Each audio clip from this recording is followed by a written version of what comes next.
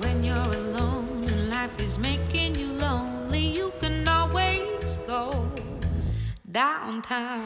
Just listen to the music